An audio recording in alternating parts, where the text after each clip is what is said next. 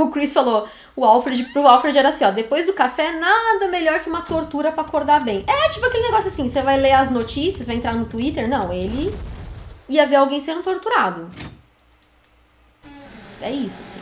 Ai, não era para sair aqui ainda, calma, vamos voltar. Fazer exercício físico, ler o jornal, entrar no Twitter, ver as notícias, entrar no Instagram, ficar rolando feed, ver os stories, não. Porque não tinha ainda Instagram nessa época, né? Não. O negócio é a gente, não é aqui também. O negócio é a gente ver as alguém sendo torturado. Dava prazer para ele ver alguém sendo torturado.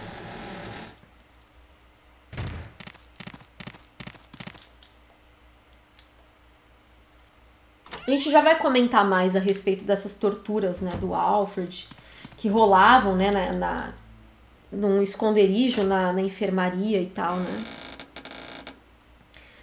A gente já vai comentar mais sobre isso.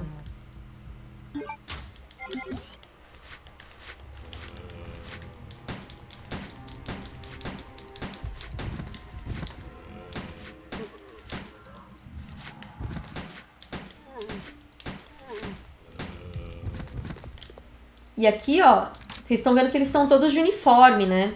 Eram os funcionários da base, assim, os guardas da, da ilha, né? Os funcionários dessa base de treinamento. T-Virus escapou na ilha, contaminou todo mundo.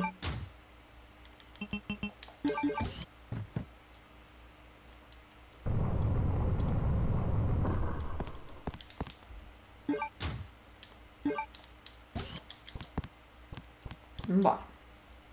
Aquela ali é uma maquete do complexo de treinamento, tá? É, a gente vai falar mais depois sobre ela também. Não vamos nos, não vamos nos adiantar nos assuntos aqui, porque tem muita história no, no Code Verônica, até em itens, uh, elementos de cenário, tem muitas coisas pra gente comentar.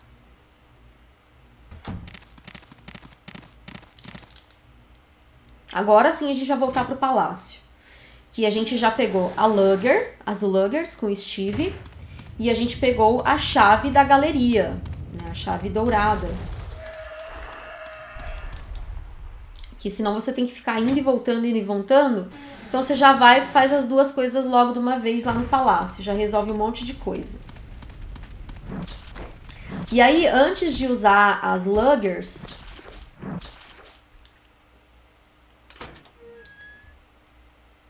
eu gosto de ir na galeria primeiro, né?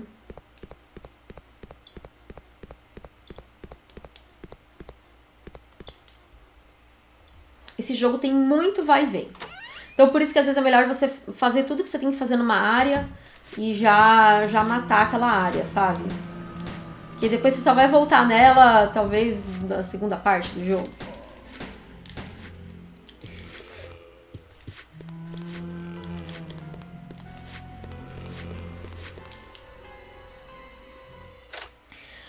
Bom, vamos lá, vamos na galeria.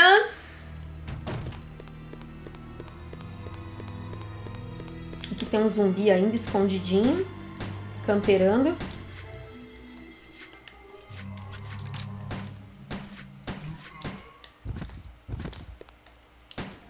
Morreu.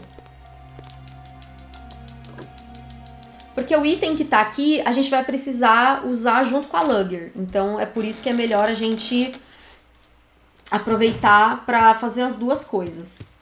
Aqui, gente, a gente vai conhecer a família Ashford, né? A gente vai falar um pouquinho sobre a família Ashford, que é uma família aristocrata, né? Então, europeia, né? E aqui a gente vai.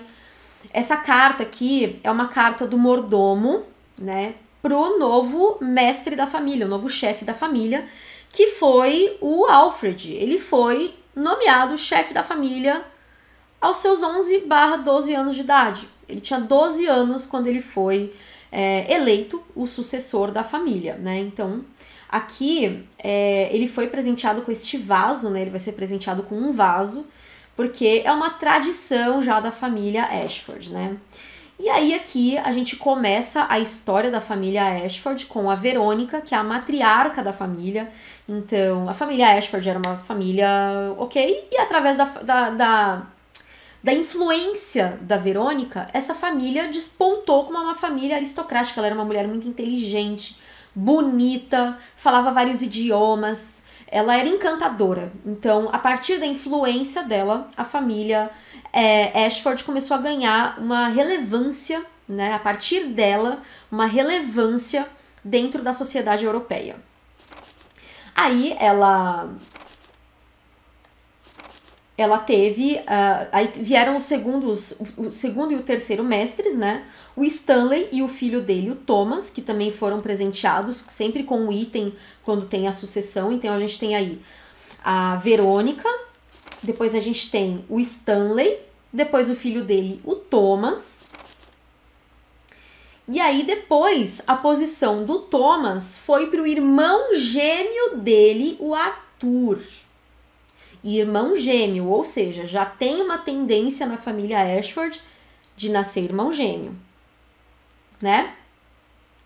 E aí do Arthur passou para o filho dele, que é o Edward. O Edward, que era o avô do Alfred e da Alexia e foi um dos fundadores da Umbrella. E foi no legado do Edward, na fase, na era Edward, né? Vamos falar das eras, como se fosse diva pop aqui, a família Ashford. Foi na era do Sir Edward que teve o seu momento de ouro na família, né? Foi só melhorando, a coisa foi só subindo. A Verônica já criou um patamar altíssimo, aí todos eles foram criando patamares cada vez mais altos chegou o Edward e ainda junto com o Spencer e o Marcos fundou a Umbrella Corporation, né? Que a gente já falou do Marcos lá no Resident Evil 0, a gente falou do Spencer no 0 e no 1, e agora aqui a gente conheceu mais um dos fundadores da Umbrella, que é o Edward Ashford, né? O avô de Alexia e de Alfred. Só que aí ele teve um filho o Alexander, né? Tipo, e aí quando ele morreu, o Alexander assumiu. Só que o Alexander não tinha talento pro, pro bagulho, né? Então, o Alexander desapareceu quando o Alfred e a Alexia tinham apenas 12 anos de idade. E a posição de líder da família passou para o Alfred. Então aqui, ó, a gente está conhecendo agora os membros da família Ashford. Então a gente está conhecendo a Verônica, esta bela mulher. Aqui a gente tá vendo, ó, o cara com os dois nenéns gêmeos que vão. É, um vai morrer e o outro que vai assumir a posição. O primeiro que assume a posição. O segundo que assume a posição já mais velho, né? Então aquela foto era de quando ele assumiu. E aí ele morreu e aí esse aí assumiu mais tardiamente. o avô do Alfred e da Alexia, o Edward Ashford. Gente, vou fazer um disclaimer aqui na live, né, na, no, no, vídeo gravado depois, para agradecer o Sonny Bauer do Crimson Head Elder. Hey Sonny, how are you? Que ele tá aqui na live com a gente. E ele também faz um trabalho muito legal. Eles fazem, né, lá na, na comunidade é, internacional de Resident Evil também fazem um trabalho excelente. E esse aqui é o Alexander, é o pai do Alfred e da Alexia. O cara que cagou tudo, né? Vamos, vamos resumir a história, né? E aqui o Alfred, ó, 12 anos de idade, uma criança, você vê claramente que é uma criança. Aí até a Claire fala, é a mesma criança que eu vi no, no filme Projetor. É aquele maluco que atirou em mim. Ó, trace o legado Ashford, revele o verdadeiro mestre. Mas quem tá por trás das ações do Alfred? A irmã, Alexia. E essa aqui é a Alexia aos 12 anos de idade.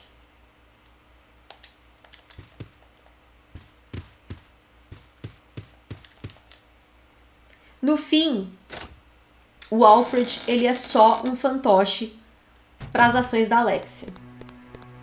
E a gente já vai falar mais sobre isso.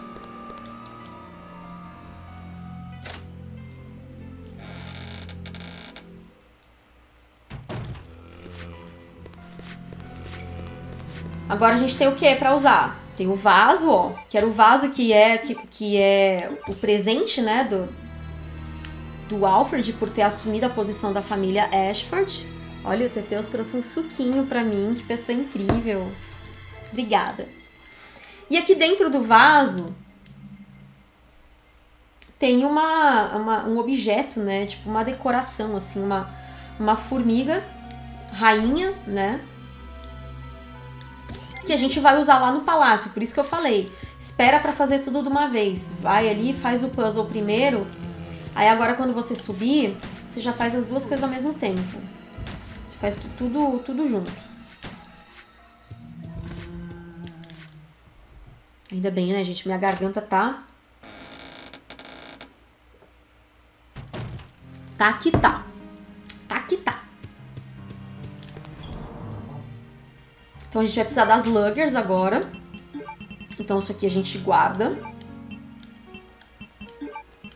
Isso aqui a gente também guarda, ainda falta uma peça pra gente poder acessar o elevador que dá pro avião. E vou deixar uma ervinha aqui e vou levar a outra.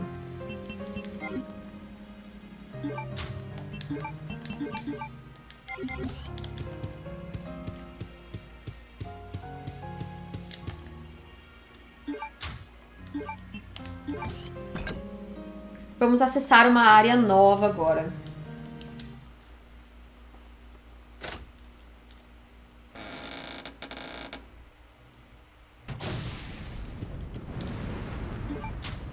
Esse puzzle que a gente vai fazer agora, gente, uh, eu já vou dar a resolução dele, né? Que é 1971, né? E 1971 é o ano de nascimento de Alfred e de Alexia, tá?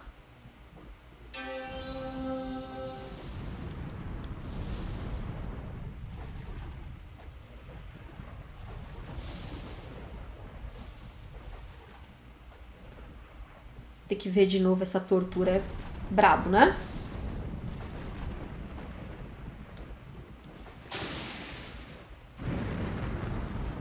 E aí, para descobrir, uh, você tem que fazer uma sequência ali que tá escrito num papel, tipo, ah, duas vezes pra direita, duas vezes pra direita uma pra esquerda. Daí, como já tô jogando isso aqui há 20 anos já, eu já vou direto no, no puzzle. É como se você rodasse um cofre, assim, sabe? Como se fosse a senha de um cofre. E aí dá 1971, que é o ano de nascimento dos irmãos Ashford. Tem até a brincadeira ali de teatrinho. O Luiz falou, Alexia, Prodígio, Alfred, Ashford. É, quase isso. Mal menos, mal menos isso mesmo.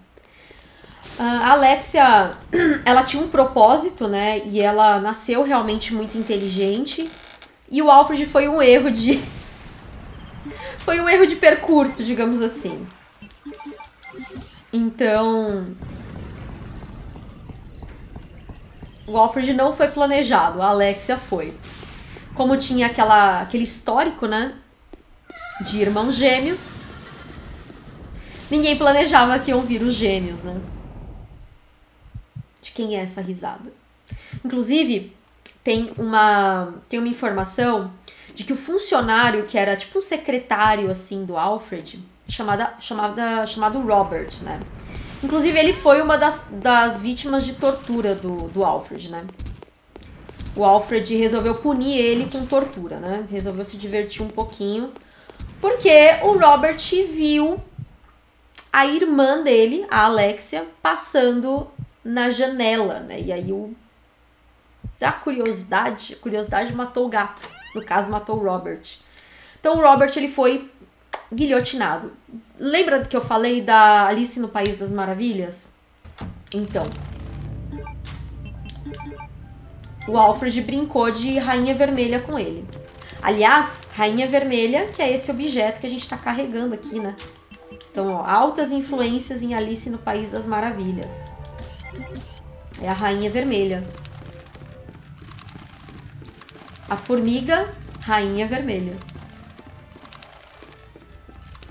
Isso é do mal, cara. Isso aqui é do mal demais, né? Uma dica, quando tiver morcego, uma coisa legal é você equipar o isqueiro para lidar com os morcegos. Então, em área que tem morcego, deixa para você se desfazer do isqueiro, que é entregar o hemostático pro Rodrigo como última coisa. Aí ela, tipo, ah, nosso inimigo. A Claire tá ouvindo as vozes, né? Irmão, a nossa inimiga é só uma garotinha. Por que está demorando tanto? Aí ele, ah, mas eu tô fazendo melhor. Aí ela, você sabe que a, o, o, sucesso da família Ashford depende do seu sucesso, né? A, o revival da família. Aí ele fala, não, eu vou fazer de você a, a líder da, da. Vou restaurar a glória da família e vou fazer de você a líder da família. Aí ela, quem é? Tem alguém no corredor? Aí ele, o que foi, Alexia? Aí ela, ah, nada não. Acho que eu tô imaginando coisas. Vamos, irmão. Vocês perceberam que a gente não viu o Alfred? Lembra que eu falei do Psicose? Quem assiste Psicose manjou, né? No Psicose, já vou entregar aqui o enredo porque é um filme velho pra caramba. No Psicose, o Norman Bates, ele fala que ele mora com a mãe dele. E aí ele fica passando na janela vestido com a roupa da mãe dele. Porque ele perdeu a mãe, ele matou a mãe, só que ele não soube lidar com a ausência da mãe. Então ele acha que ele é a senhora Bates. Né? E com o Lon Alfred é, acontece bem semelhante. Mas a gente ainda vai falar mais sobre isso, né? Então, ele se veste com a roupa da irmã e ficava passando na janela. E ali ele tá conversando com ele mesmo. Por isso que a gente não vê o Alfred. E no Psicose mostra muito o, o Norman fazendo a voz da mãe dele. Tipo, a Marion, a, a, a, trama gira, o começo da trama gira em torno da Marion, e aí tem a famosa cena do chuveiro, né? A Marion, ela comete um erro no começo do filme, e ela se hospeda no, no Motel Bates, né, pra, pra passar a noite, porque tá chovendo muito, e ela acaba sendo assassinada uh, pelo Norman Bates, amando da mãe, né? Tipo, a mãe assassina ela, na verdade. É ele vestido de mãe, né? E aí ele chega e fala: Mãe, o que você fez? Mãe, tem sangue na sua roupa. O que foi que você fez? E aí ele vai limpar a sujeira da mãe dele. E durante o filme você fica achando que foi a mãe mesmo, né? E aí depois no final você descobre que a mãe já tá morta. Ele mantém o corpo da mãe. E ele acha que ele é a mãe dele. Então a mente dele tá fragmentada. Tô vendo o pessoal citando aí no chat da Roxa o filme fragmentado e sim, o Alfred tem distúrbio de personalidade.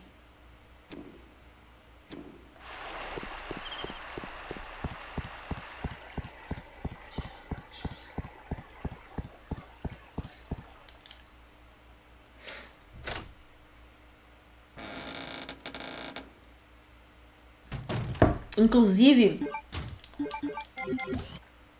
uh, é por isso que o, o, o, o secretário dele é morto, por descobrir essa verdade. Esta verdade é extremamente inconveniente. E sabe quem mais o Norman Bates inspirou em Resident Evil?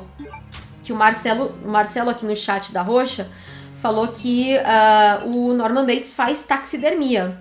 Qual outro personagem de Resident Evil que é extremamente sádico e gosta de fazer taxidermia, que é a arte, o hobby de empalhar animais? Ryan Irons, o chefe de polícia. Só as gracinhas, né, gente? Só essas pessoas muito fofas, assim, muito carinhosas.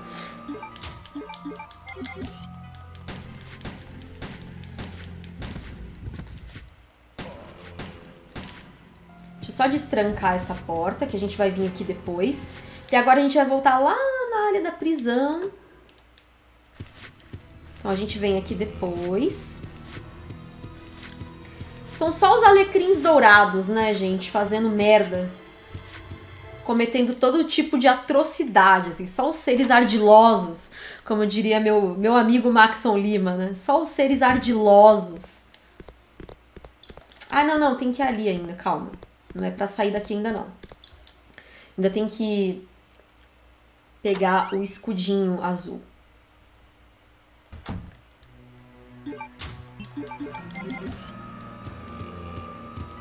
Só esses indivíduos extremamente ardilosos, né?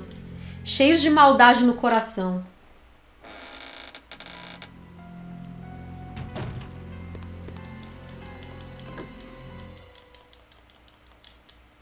O Hideki ainda falou, perto disso o vírus nem é o grande mal.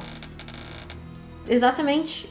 O mal residente, que é o nome Resident Evil, fala muito sobre isso também. Ele é até mais abrangente do que o nome Biohazard, né?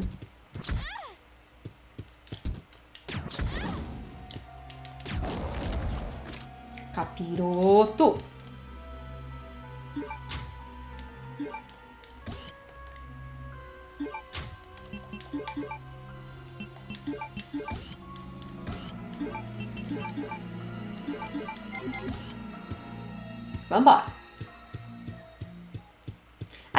File, gente, que eu não vou pegar para comentar, mas é um file uh, do Hank. Sabe o Hank, o quarto sobrevivente? Então, depois que ele sobreviveu a Raccoon City, conseguiu entregar o D-Virus pra Umbrella com sucesso, né? Ele conseguiu sobreviver, foi o único do pelotão da, da equipe Alpha a sobreviver. É, cumpriu a missão com sucesso, ele já foi para fazer outros rolês, né, gente? Porque funcionário é assim, né? Você resolve uma burocracia, aparece outra. E aí ele tinha é, uma missão que era de entregar uma missão totalmente atípica, porque eles são um exército paramilitar. Eles são tipo a SWAT da Umbrella. E designaram eles para fazer serviço de entrega, que era entregar uh, uma cápsula com uma, um espécime lá na, na, na ilha, né? Lá na ilha. E o, e o, e o Hank, né, ele, ele endereça essa carta pro Alfred, ele dá um pito no Alfred, porque ele tem moral, né, gente? O Hank, ele tem moral. Então ele fala, ah, meu, tipo, a gente vai continuar fazendo esse tipo de missão, assim? Eu preciso saber, né? Preciso saber, sabe? É tipo, o famoso, não é para isso que eu sou pago. Não é para isso que eu sou pago.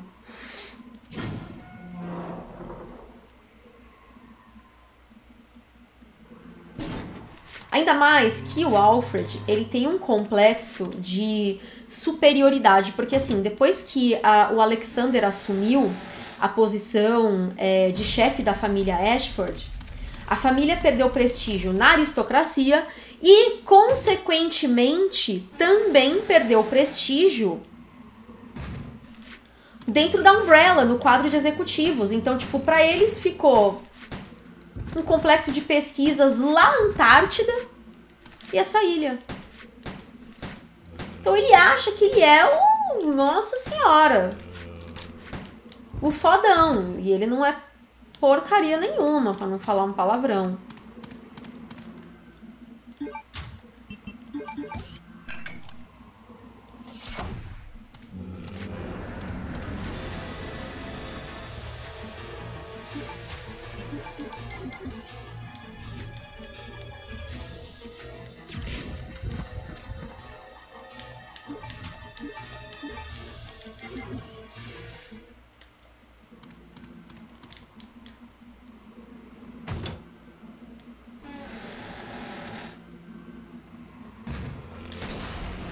Olha lá, lembra que eu falei que ia estar tá cheio de zumbi aqui?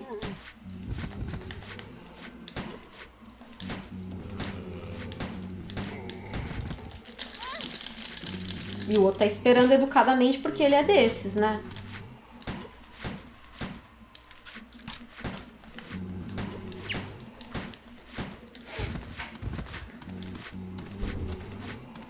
Deixa eu entrar aqui e resetar a sala.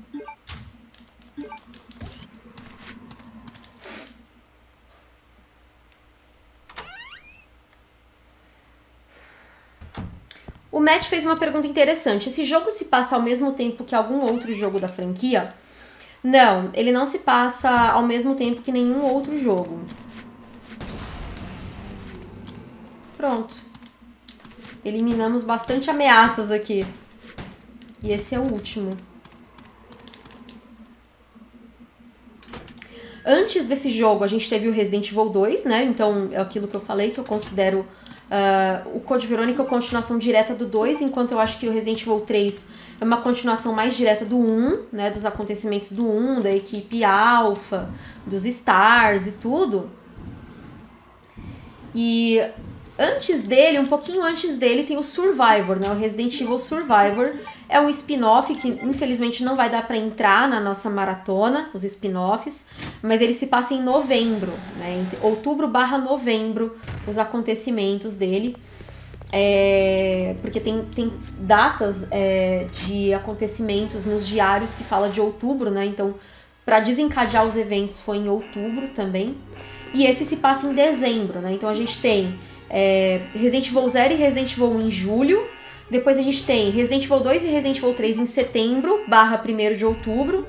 Aí a gente tem Resident Evil Survivor, outubro barra novembro. E depois o Code Verônica em dezembro, para fechar a saga de 1998. Ó, gente, essas duas munições eu sempre pego, especialmente essa aqui, para aquele Tyrant do avião, tá? Dimensão perguntou se o Survivor é canônico. Sim, a ilha China, onde se passa o Survivor, é citada na, no prólogo do Resident Evil Zero. Na introdução do Resident Evil Zero. Então, sim. É canônico.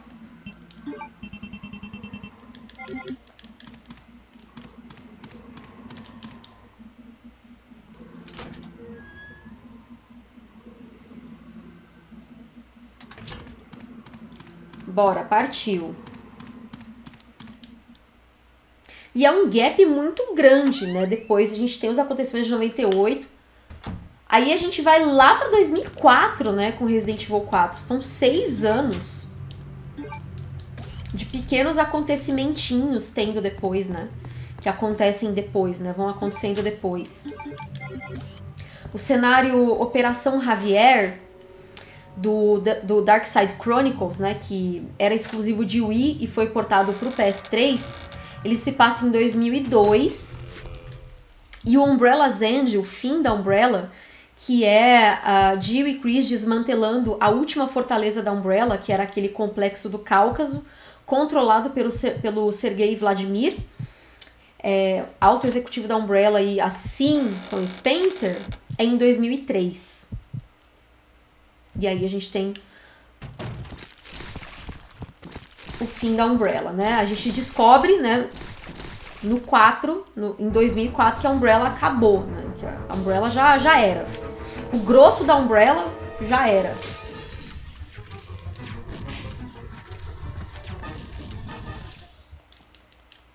Esse médico é forte. Lembra que eu falei do médico, do médico sádico?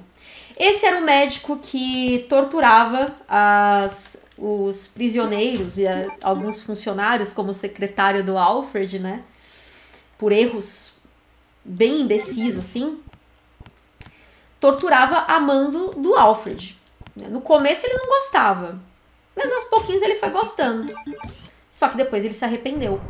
É, ele se arrepende, ele fala que tem o diário, né, do, do médico, né, do anatomista, né, e a gente vai descer agora para esse lugar secreto onde eram realizadas essas essas pesquisas, essas torturas ardilosas, né, do do Alfred e do, do médico, né? Então assim,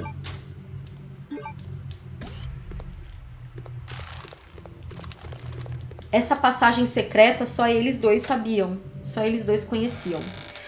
Gilvan tá perguntando se essa ilha é onde o Carlos treinou. Não, a UBCS não era treinada na ilha, só o SS. A UBCS era treinada na vida mesmo, era só cara, só criminoso, guerrilheiro, galera que já sabe pegar em arma já. Agora, eles, é o curso técnico, né? A UBCS fazia curso técnico e a USS fazia a graduação, né? E o mestrado, doutorado, o, a graduação após o, do, o, o mestrado e o doutorado, né? A UBCS não treinava na ilha, só a USS, tá?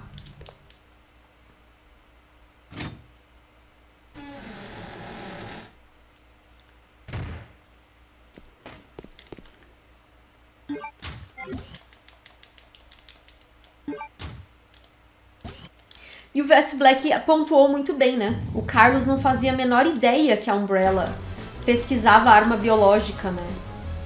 Ele era um cara que teve. que fez merda na vida, foi preso, aí a Umbrella pegou, comprou os crimes dele. É uma falsa liberdade, porque na verdade agora ele estava preso com a Umbrella, né?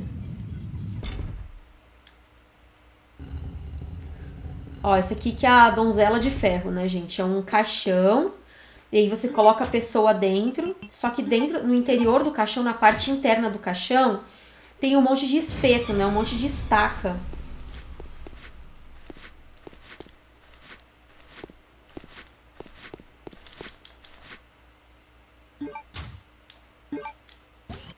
E tinha uma pessoa empalada lá dentro.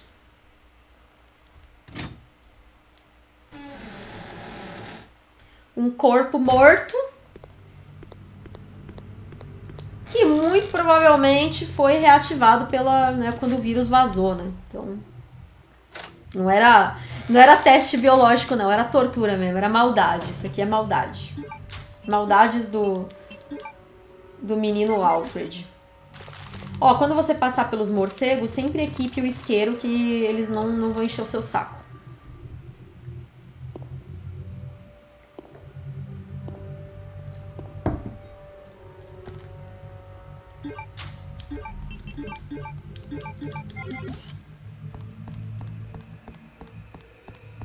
Pegamos o que faltava. Então a gente vai voltar lá pro palácio agora. Só que antes a gente vai fazer um, um desvio, porque a Claire e o Leon, eles têm uma coisa em comum, que é sempre arrumar tempo para ajudar alguém. Né? O próprio, próprio Leon fala isso lá no Resident Evil 6, que a gente ainda eventualmente vai, vai chegar lá, né? Mas a Helena tá tipo, ah, vamos pra catedral, né? E aí ele encontra o reitor da universidade, né? E ele fala, não, não, mas a gente tem que ajudar ele a encontrar a filha, né? Não, não, não, não tem tempo, não. E aí ele fala, a gente arruma tempo. E a Claire é a mesma coisa. E aí é uma ironia, porque assim, o Rodrigo foi a pessoa responsável por prender a Claire. Então, se fosse qualquer outra pessoa, se fosse eu, eu tava cagando. Ai, Problema teu, você que me prendeu aqui dentro, tô aqui por tua causa. Só que a Claire não é assim, graças a Deus ela não é como eu. Então, é mentira, gente. Eu, eu falo assim, mas eu sou a maior trouxa também. Morra, né? A Claire pensa. Só que ela, no fim, todo mundo é, é vítima da Umbrella, né, gente? Oh! Pensando que é a farra do boi?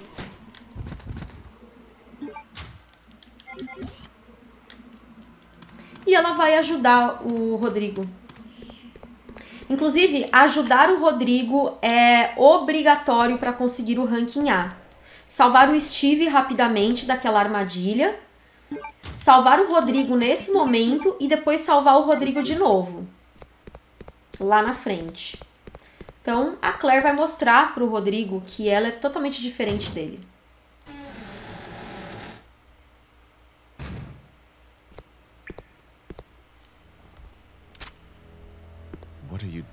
Aí ele, o que, que você tá fazendo aqui? E aí ela pega, né, meio, meio, meio assim, né? Só coloca ali, ó. Pronto, moço. Tá aí o seu remédio, está precisando, tá? Aí ele, ah, remédio hemostático? Nossa, que gentil da sua parte. Aumentei o brilho um pouquinho, tá, gente? Aí ela, ó, fica com esse isqueiro aqui, porque tá uma escuridão do cacete. Primeiro ela se oferece para ajudar e ele fala que não, que ele pode se cuidar sozinho manda ela embora. E ela deixa o isqueiro com ele e fala: ah, é, foi um presente do meu irmão, mas tipo, ah, você precisa mais do que eu. E aí ele dá o lockpick pra ela. Don't worry about me. O Rodrigo falou no chat. Voltamos pro início do jogo, sim. Digo alô ao inimigo. Encontro um abrigo no peito do meu traidor, já diria Cazuza.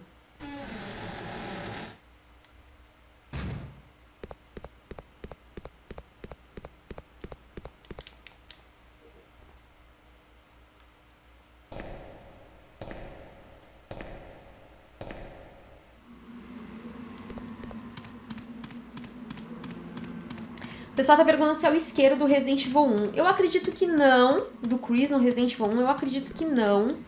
É, muito provavelmente era algum brinde dos Stars, né? Sei lá. É, sei lá, nem sei se é dos Stars também, mas não, não, não tem como ser o mesmo porque a Claire e o, e o Chris não, não se encontraram nesse meio tempo. Né? Ele não deu notícias pra Claire, por isso que ela foi pra Raccoon City atrás dele, né? Eu acho que eles não se encontraram nesse período, né? Pra ele entregar o isqueiro pra ela. Chris estava ocupado demais. É, puto com os rolês da Umbrella. Com razão.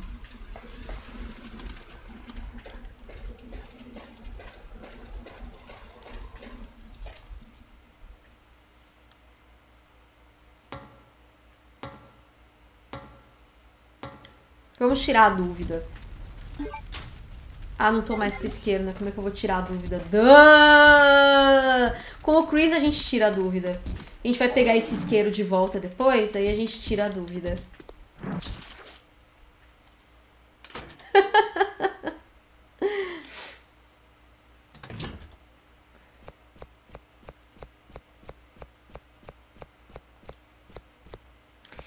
Ai, uma das minhas cenas favoritas. Greetings. Cumprimentos! Você deve ser a amável Claire Redfield. Quem é você? Digamos apenas que eu sou um fantasma voltando para assombrar seu querido irmão. Wesker? Parece que não tem muito o que explicar, né? Fui eu que ataquei a ilha. About Imaginaria que você estaria por aqui? Ai, que sorte a minha.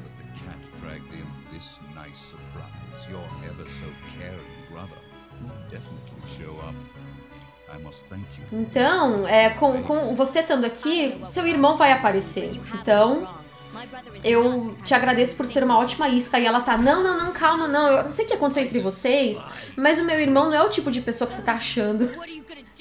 Aí ele, eu odeio o Chris, eu desprezo o Chris. Aí ela, o que, que você vai fazer com ele? E tome-lhe sopapo. E tome-lhe sopapo.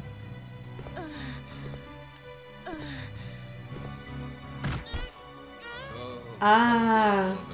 you die. E ele falando, ah, nossa, seu irmão ia adorar ver você morrendo. Olha a maldade, cara. Ele, o quê? O que, que tá acontecendo? Fica aí, tô indo. Salva pelo gongo, hein, Claire?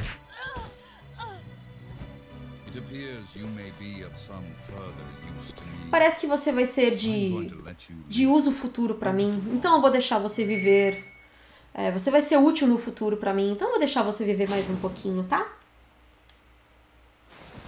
E os olhos brilhantes de Albert Wesker.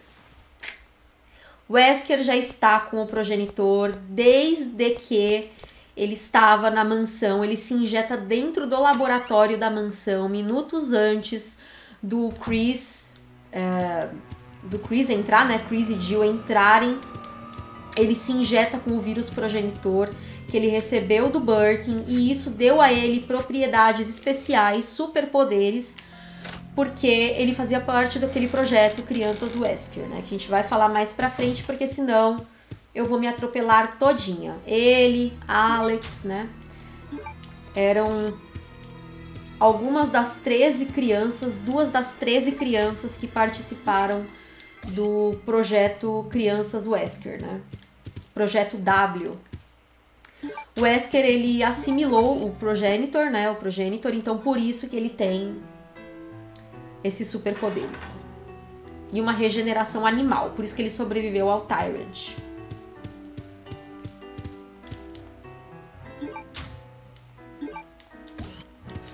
Vitinho, por que, que ela diz pro Wesker que o Chris não é o tipo de cara que ele pensa?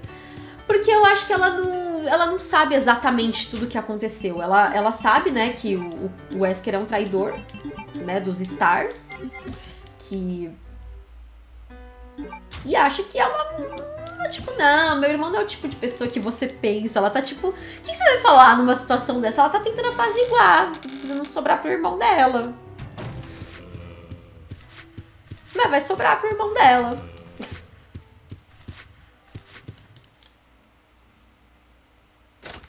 Gabriel falou, como que a Claire sabe disso? Porque na correspondência do Irons, é, do Birkin pro Irons, ele cita o Wesker. E ela devia saber, né? Ela devia saber que, pelo menos, que o Wesker era o superior do irmão dela, né? Ele ainda mantinha um contato com ela antes do da, do incidente da mansão. Ela e o Chris ainda mantinham contato.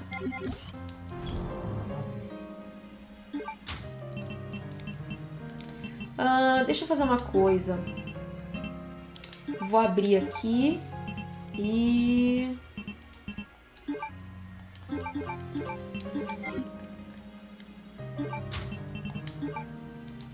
Ó, aqui é bom que a gente tá com o lockpick e essas balas aqui vão ser valiosíssimas para nós.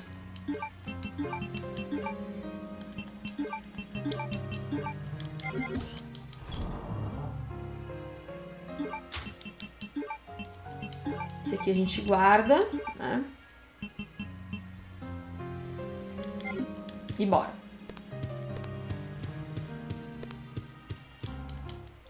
O pessoal perguntou se o dublador do Wesker é o mesmo do 5 e não, não é. No Code Verônica, no Zero e no Resident Evil 4, o dublador do Wesker é o Richard Wogg.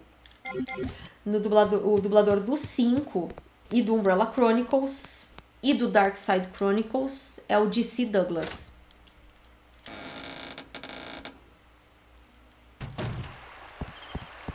Nosso brasileirinho DC Douglas, que ama o Brasil. Ai, quero DC Douglas da BGS de novo! Gente, parem de aglomerar que eu quero que acabe logo a pandemia pra gente ter BGS de novo e o DC Douglas poder voltar pro Brasil. Saco! Já que é pra pensar só, em, só, só, só na gente, né? Então. Tô pensando só em mim agora. Porque eu quero que acabe a pandemia. Porque eu quero que o DC Douglas possa vir pro Brasil de novo.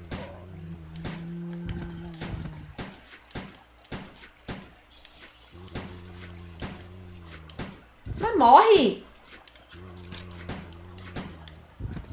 Porra!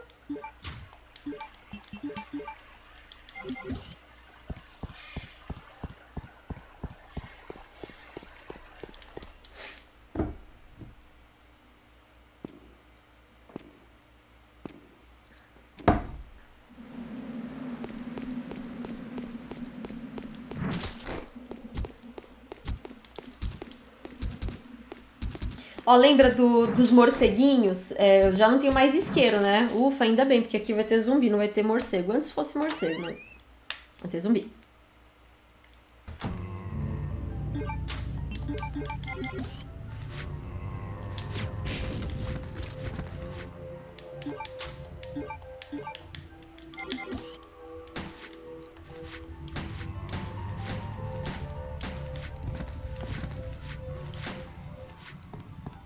Demônio.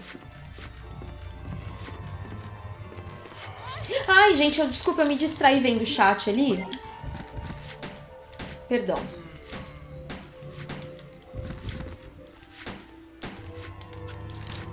Oh, meu Deus, desculpa, Claire, de novo. Coitada. Se lascou por minha causa.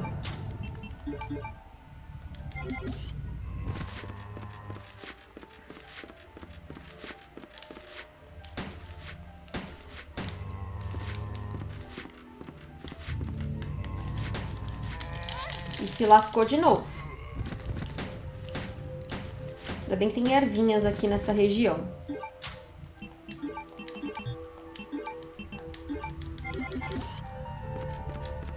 Foi? Foi.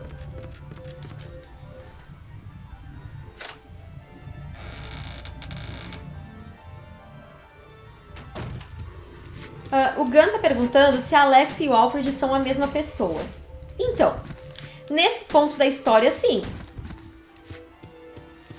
Né? É o que o jogo quer que a gente acredite, que a Alexia não existe.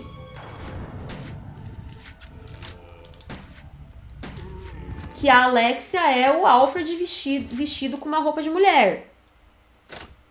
Mas. Esse jogo tem twist atrás de twist, gente. Plot twist atrás de plot twist. Então.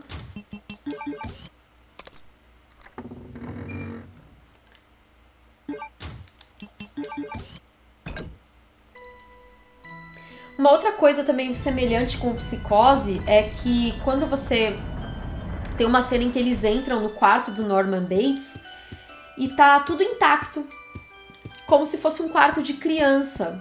E aqui também, né? Vocês podem ver que é tipo caixinha de música. É, aqui é mais um quarto de homem, o outro quarto é cheio de bonecas, né? Então, ainda tem essa coisa, tipo, a, por exemplo, ó, Alexia, que a gente vai descobrir mais pra frente, ela foi colocada em sono criogênico com 12 anos de idade. Então ela era uma criança. Então por isso que tá tudo intacto também, né? No Dark Side Chronicles, quando a Alexia aparece, ela fala como uma criança, né? Ela conversa como se fosse uma criança, porque ela faz piadoca de criança. Eu peguei já o não. Então, ó, contos de fadas, ó. Cavalinho, carrossel.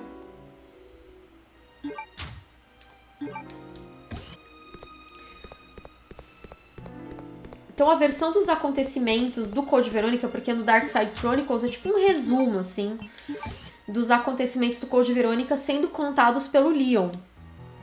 E mostra a Alexia. E a Alexia, ela fala como se ela fosse uma criança. Ó, lembra que eles tiravam a, a, as asas da libélula pra dar pra formiga?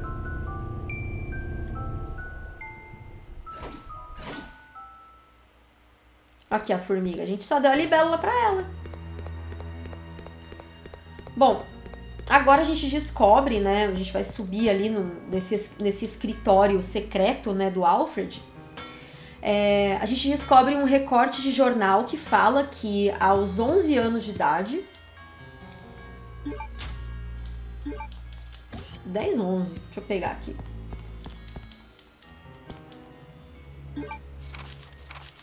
Aos 10 anos de idade, a Alexia ela se formou numa prestigiosa, uma renomada universidade na Europa, né? Ela é um prodígio, né? E a gente vai entender mais pra frente os motivos dela ser um prodígio. Ela é um prodígio que se formou na universidade com 10 anos de idade. Então ela foi ela foi contratada pela Umbrella para ser a pesquisadora-chefe do complexo da Antártida, né? E ela ainda tem aquele agravante de ser a neta do fundador, né? Então as pessoas puxavam o saco dela. Isso deixava o Birkin com 16 anos tiririca, meu amigo. O Birkin, não com 16, né? Porque eles tinham pouca diferença de idade, na real. Isso deixava o Birkin um pouco mais velho do que ela, tiririca da vida. Claire Redfield, parada aí mesmo.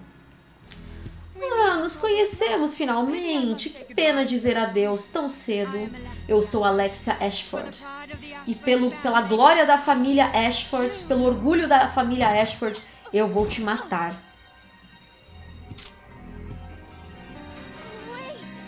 Espera! O que, que tá acontecendo?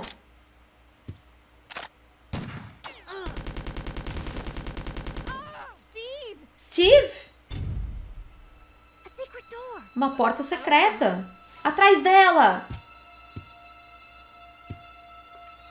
Você tá bem? Tô, tô bem. Foi só um arranhão. Passou de raspão a bala. Tô bem. E a Claire tipo, ai, sempre se fazendo de fortão. Então, agora a gente vai encontrar aqui, ó. Tem um vestido no chão, aqui, ó, em cima da cama. Um vestido largado.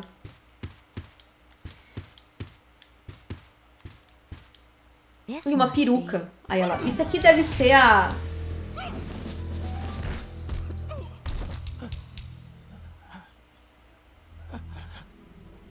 Ele não deve ter se trocado tão rápido, mas né, os modelos do jogo. O quê? Não! E esse é o momento em que ele surta. Peraí. O que, que acabou de acontecer? Então, nunca existiu uma Alexia no fim das contas. He's too Peraí, você acha que ele é. Ele acha, ele acha que ele pensa que são duas pessoas? Você acha que ele pensa que ele é duas pessoas? Ah, já deu, vambora. Ah, aquele maluco ativou ah, o, ah, o sistema de autodetonação da ilha. Então, a gente tem que chegar até o aeroporto, a gente tem que ir pro aeroporto. Então, assim, gente, claro que o Alfred, ele não se vestiu tão rapidamente assim, né? Muito provavelmente ele seria pego de cuecas aqui. Mas, a gente tem que considerar a época em que o jogo foi lançado. Então, o modelo do Alfred era um só. E o modelo da Alexia era um só também. No Dark Side Chronicles, quando a gente vê o Alfred vestido, vestido de Alexia, ele tem traços masculinos, então você consegue distinguir a Alexia e o Alfred, porque apesar deles serem gêmeos, o Alfred é um homem. Então ele não, não tem peito nem nada. Só que aqui no jogo só tem dois, só tem um modelo para cada personagem. Então por isso que o Alfred aparece ali já vestido. Né? Vamos considerar a época em que o jogo foi lançado, mas ele, ele provavelmente ta- teria corrido de cueca ali. E ele surtou, tipo, ele se viu de maquiagem. Mas ele achou que ele. De alguma forma, ele ainda achou que ele era Alexia ali naquele momento. Ele, ele fugiu do personagem, gente. Ele fugiu do personagem. A Esté ainda falou assim, ó. Isso se ele tivesse tempo pra tirar o vestido. O Norman Bates, no Psicose, no final do Psicose, quando ele é descoberto, ele tá com o vestido da mãe dele. Ele tá segurando uma faca. E aí vem o, o detetive, né, que tava atrás da Marion, tava investigando o desaparecimento dela, segura ele, arranca a faca e ele meio que tá tendo tipo um surto, assim, ele tá. Então, tipo, tipo Alfred, assim. Ele tá dando um surto.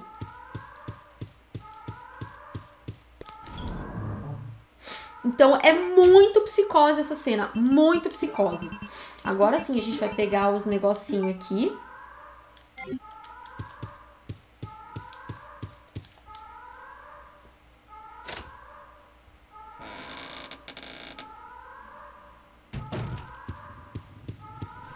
O Luiz acha que o surto do, do Alfred foi pelo por terem visto ele maquiado. Eu acho que não. Eu acho que deu uma bugada na cabeça dele. Eu acho que deu uma bugada na cabeça dele. Ou talvez tenha sido isso, tipo, descobriram a farsa também, também. E ó, tem aviões com funcionários saindo da, da ilha, né? Tipo, a galera que sobreviveu, outros prisioneiros. é, Estavam tentando fugir da ilha também, então alguns já conseguiram. Então, bora pro aeroporto também pra gente ter a nossa chance também. O Gilvan tá perguntando se o Alfred tinha inveja da irmã. Não. O Alfred ele se via como um serviçal da Alexia. Porque ele era a rapa do tacho. Então ele tinha esse, esse complexo de inferioridade em relação à irmã, porém de aristocrata de superioridade em relação ao resto, né? Mas ele obedecia à irmã cegamente.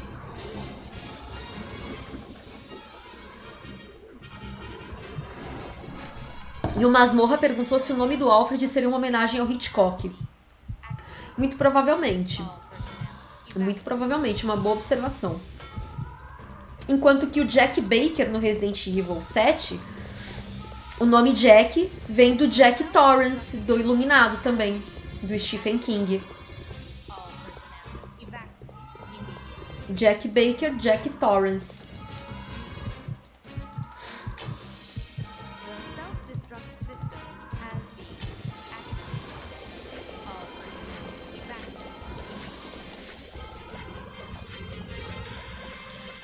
Da- na cabeça do Alfred também, eu acho que tá passando tipo assim. Puta, eu fui desmascarado por dois guri. Porque ele tem 27 anos nesse ponto da história. Né? Ele nasceu em 71, aqui a gente tá em 98, então ele tem 27 anos nesse ponto da história. Então na cabeça dele ele tá tipo assim, meu Deus, eu fui desmascarado por dois guri. Só que ele tá surtado, gente. Ele tá surtado, a gente vai ver daqui a pouco como ele tá surtado. Tipo, surtado de, de verdade, assim.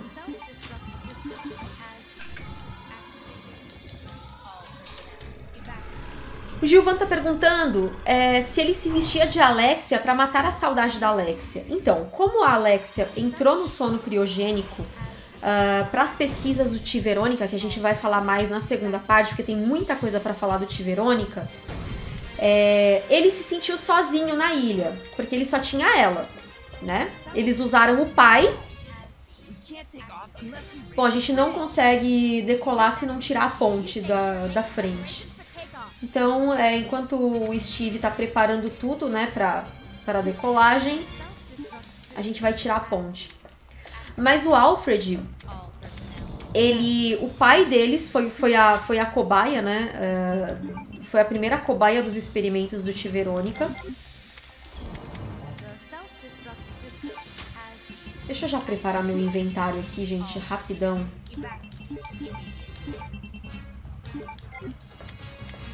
E depois a Alexia falou: Bom, olha, nosso pai falhou, como sempre, porque ele não presta pra nada. Então, eu vou resolver isso. Eu vou ser a cobaia do projeto. E você tem que cuidar de mim.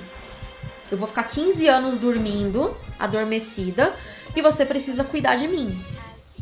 E nessas o Alfred sentiu falta da irmã. Então ele criou um personagem. Isso é dito no Dark Side Chronicles. Não é dito, mas é dado a entender. Então a pessoa que tá lá no tubo, dentro da cápsula, no sono criogênico, que é a Alexia de verdade, ele chama de Tânia. Ele deu o nome da, pra aquela Alexia de Tânia. E na cabeça dele, a Alexia tá com ele. Porque a mente dele se dividiu em Alexia e Alfred. Por isso que ele fala que a Alexia e o Alfred são. é, ele fala que eles dois são os dois lados da- de uma mesma moeda, né? Porque ele acha que ele é a irmã. Então ele. É, é até uma coisa importante de se falar. O Alfred, é, ele não se veste de mulher porque ele é gay. É, ou por ter qualquer distúrbio sexual. Ele tem um problema de. Ele tem um distúrbio de personalidade. Ele acha que ele é a irmã dele. Ele deu um nome pra, pra irmã dele dentro da cápsula. E ele dividiu a mente dele entre Alexia e Alfred.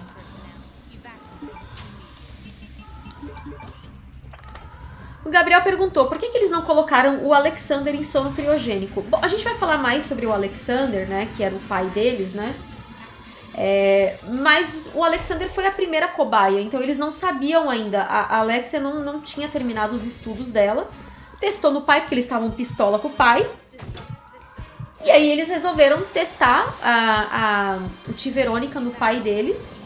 Falhou, aí ela fez mais testes e descobriu que, como o vírus era muito agressivo, era necessário entrar em sono criogênico por 15 anos pro, pro vírus entrar em simbiose com o organismo do hospedeiro. E aí por isso que ela se botou de. Ela acreditava tanto no potencial do vírus que ela resolveu se usar de cobaia. Mas a gente vai falar mais sobre o T. Verônica lá na frente. O João falou: daqui a pouco nós veremos um garoto de 17 anos pilotando um avião militar. Resident Evil, senhores. É. É um jovem de 17 anos pilotando um avião, é uma jovem de 19 criando uma vacina, mas o problema agora é ter criaturas semelhantes a lobisomens no, no Village, gente. É isso, assim.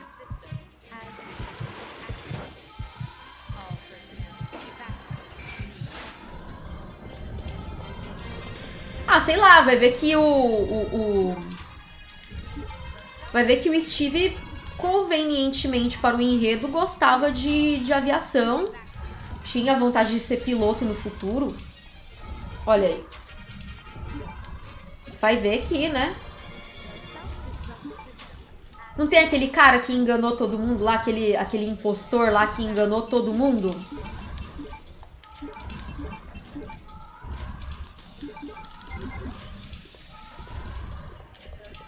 É, e ele aprendeu a pilotar avião lendo manual.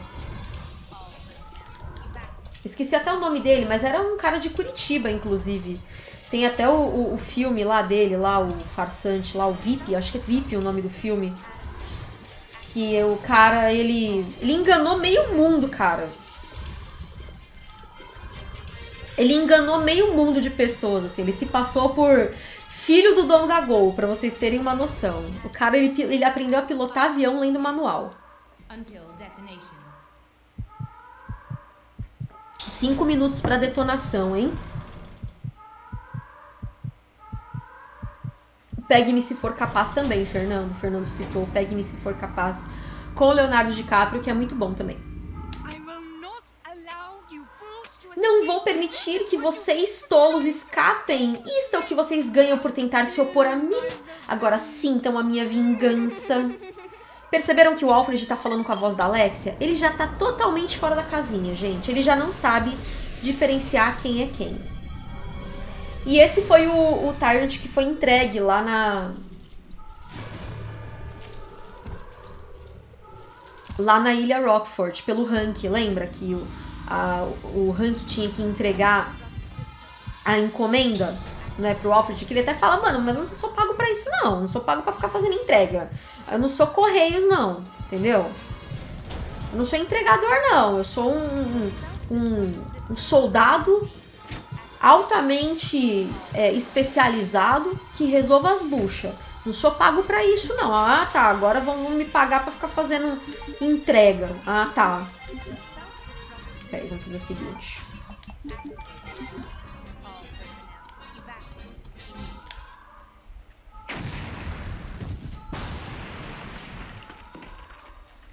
E apesar da cápsula tá tipo 091 no número da cápsula, ele é um T-103, tá, gente? Só que ele, ele ele ainda nem tá com as garras, né?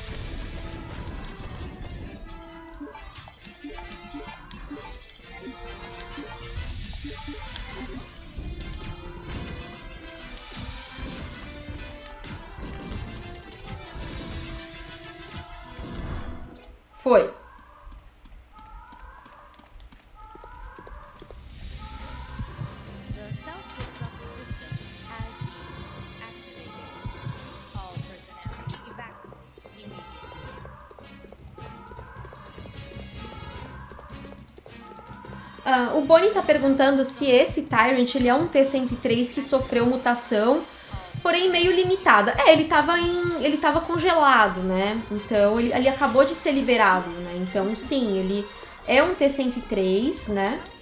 E ele tá congelado e sem o limitador.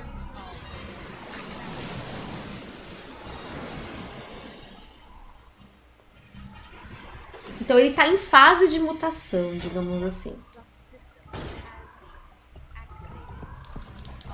Agora ele vai mutar. Agora ele vai.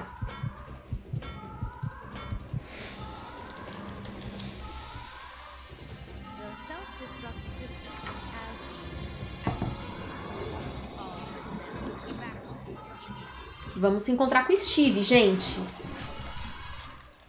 Bora se encontrar com o Steve, hein? Tem que fugir logo. E ele ainda vai perguntar: por que, que você demorou tanto aí? Ela não tem tempo pra explicar, não. Vambora, vambora. Que, que você acha, né, Steve? Tava resolvendo o problema. Você acha que eu demorei porque eu quis? Tava tirando a calcinha da bunda? Não.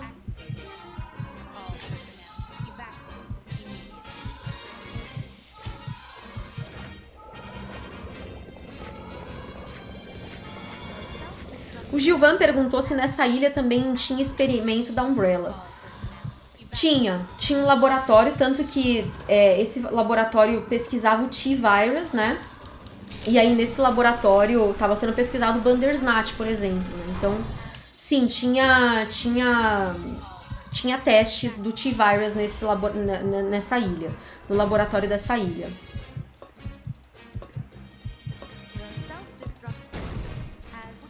Olha lá, o que, que você demorou? Tava começando a ficar preocupado. Não tem tempo pra explicar, não, Steve. Bora. Aí ele, ah, hora de dar adeus a esse lugar doido, maluco.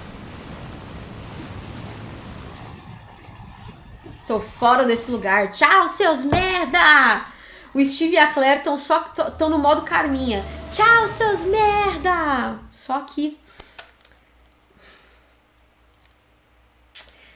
eu conto vocês contam? Conseguimos! Aê! Ai, finalmente acabou. Olha o erro da Claire, o mesmo da Jill lá atrás no 3, né? Ai, acabou finalmente. Isso aqui não. Aí o Steve vai falar: Claire, me desculpa. Eu sei que eu te causei muitos problemas. Aí ela, não, relaxa, tá, tá, tá sendo difícil pra nós dois. Foi difícil pra nós dois. Ela achou que acabou. Aí ele, eu realmente espero que você encontre o seu irmão. what it's like to be Eu sei o que é estar sozinho. oh Steve. E ela tá tipo, mano, com muita dó. Aí ele, então, onde é que você quer ir, Claire? Eu posso te levar pra onde você quiser.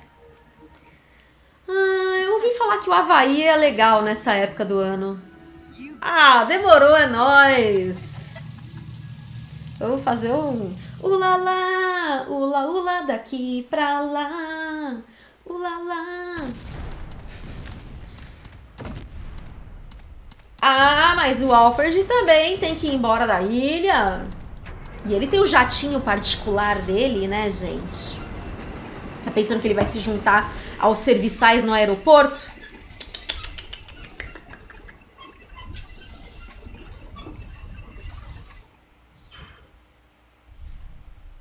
O Havaí é muito a cara da Claire mesmo.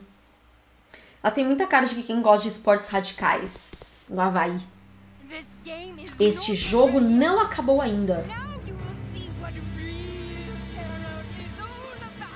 Agora vocês vão ver o que que é terror de verdade. E ele tá falando com a voz da Alexia. A voz que ele fazia de Alexia. Ele, ele esqueceu de sair do personagem. Ele ainda tá com a voz de Alexia. Bugou. Ele bugou. Pane no sistema, alguém me desconfigurou. Essa é a frase pra descrever o Alfred. Ah, vocês conseguiram fugir? Não tem problema não. Ei, what the? que que... Ah, ah, as porteiras da, da, do room. compor- da sala de, de carga tá aberta. Eu vou fazer um savezinho aqui.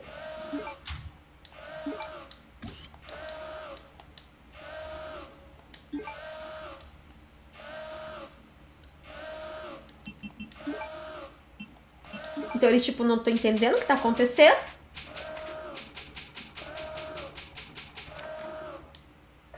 Ó, eu salvei aqui, mas pra fazer ranking A não pode salvar, tá? Você só vai poder salvar depois de matar esse Tyrant. Mas como eu já, já peguei minha Rocket Launcher infinita, que eu deixei lá na ilha, lá na, na- no detector de metais da ilha, então não, tem, não tenho necessidade disso.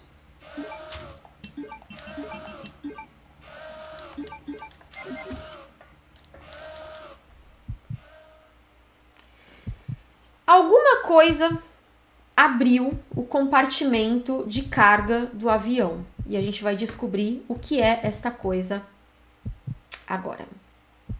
Tipo, tá, tá dando uma ansiedade na Claire. Sei como é, Claire, sei como é. Eu abro o Twitter eu fico assim. né?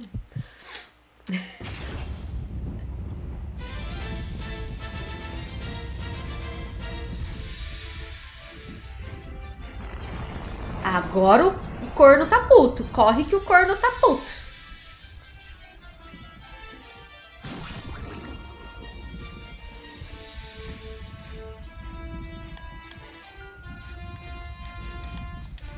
Um, dois, três. Entra no inventário. Um, dois, três. ah.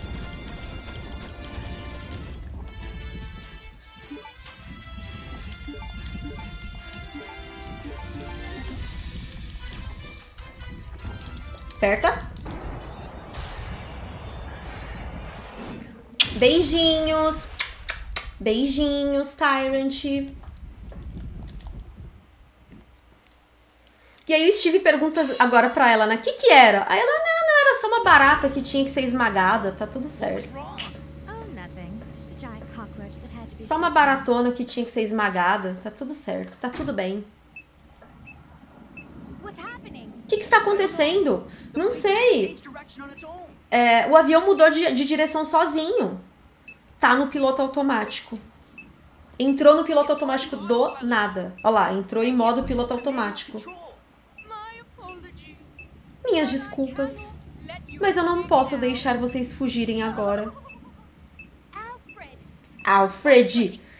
Seu cross-dressing freak, seu, seu louco travestido. Travestido. Porque ela não tinha. Gente, vocês acreditam que teve gente que tentou cancelar a Claire recentemente falando que ela teve uma fala transfóbica? Ela chamou ele de travestido.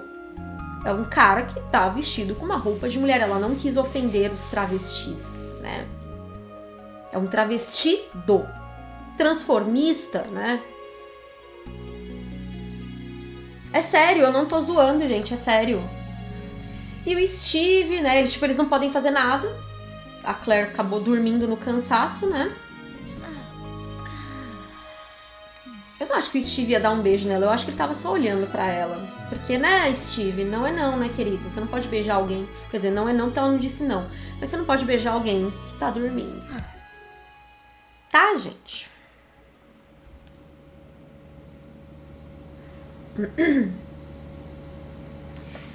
E agora que o Steve cai na real? Ei, cadê a gente? Onde a gente tá? Onde, cadê nós? 0.17 degrees. Aí ele fala a latitude e a longitude. E eles percebem que eles estão chegando na Antártida. É Antártida? A gente tá sobrevoando a Antártida. E a Claire tá tipo, oi? O quê? E aí, quando eles estão pousando, né, esse pouso de emergência aí, tem os aviões que foram, que saíram da ilha antes. Aí ele falou: Isso quer dizer então que esse lugar pertence à Umbrella. O Alfred mandou todo mundo pra esse complexo, gente. Ele pegou o. Ele tomou o controle das aeronaves e mandou pra todas elas pra esse complexo da, de- é, da Antártida da Umbrella.